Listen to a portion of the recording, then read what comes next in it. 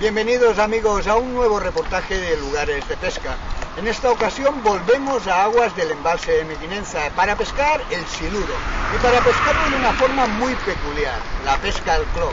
Para ello hemos contado con un inestimable pescador, Ray, guía profesional de pesca, que nos mostró cómo se utiliza esta varita mágica y cómo suben los siluros. Mira, mira la corda, ara. Fiqueu-vos la cua al revés. I no Joder, Eugeni, tu que has sí, Otra de las modalidades que existe para la pesca del siluro y que también fue importada de las zonas centroeuropeas es la pesca al clonk.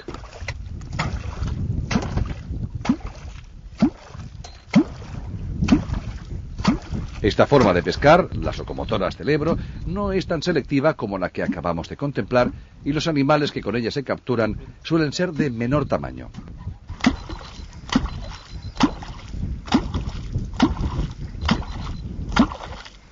De todas formas, esta pesca es una pesca dinámica, a la que algunos aficionados se aventuran a compararla con el empleo del sedal pesado en cuanto a la participación directa de los mismos en todo el proceso de atracción y captura del siluro.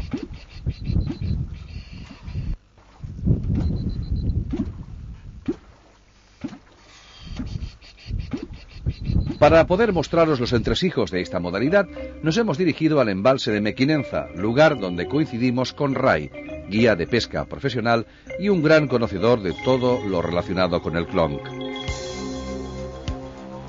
Embarcados con este gran pescador, ponemos rumbo hacia la aventura piscatoria en unas aguas donde el siluro es el rey y su mandato se extiende a lo largo y ancho de los más de 500 kilómetros de orilla con que cuenta este embalse.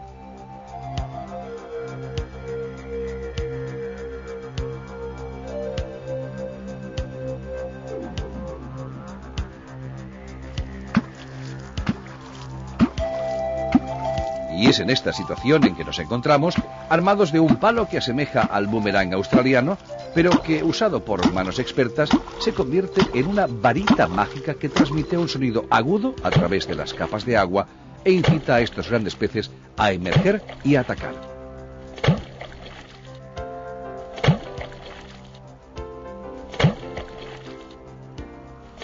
Poco hemos tenido que esperar para mover al primer animal. La sonda nos advierte que un gran pez está ascendiendo de forma rápida. Nuestra mirada se fija en los puntales de las cañas que no paran de moverse debido a que nuestros cebos advierten el peligro.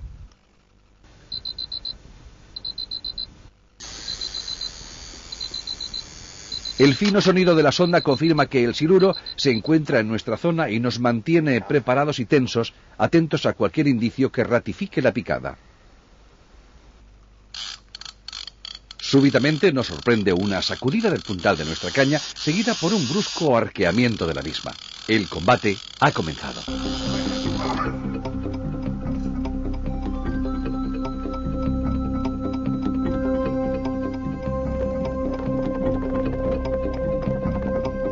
A juzgar por la torsión del puntal se trata de una pieza de escaso tamaño y la ilusión por lograr cobrarla, la excitación del combate y la motivación por ver nuestros esfuerzos recompensados pintan en nuestra mente una sonrisa anticipada que aún no ha aparecido en nuestro semblante, ocupados como estamos en plantarle cala a esta formidable masa de músculos.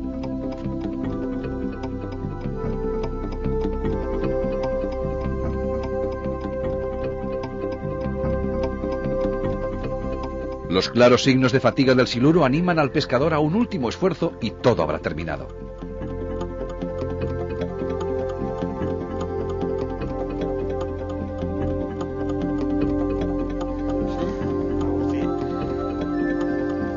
No nos habíamos equivocado.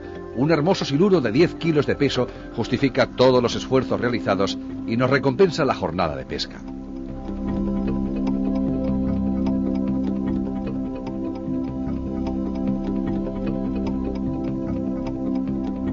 Solo queda devolverlo a su medio, ser justos con el animal que tan buenos e inolvidables momentos nos ha hecho gozar, haciendo buena, si cabe, la decisión, acertada o no, de su introducción en estas aguas.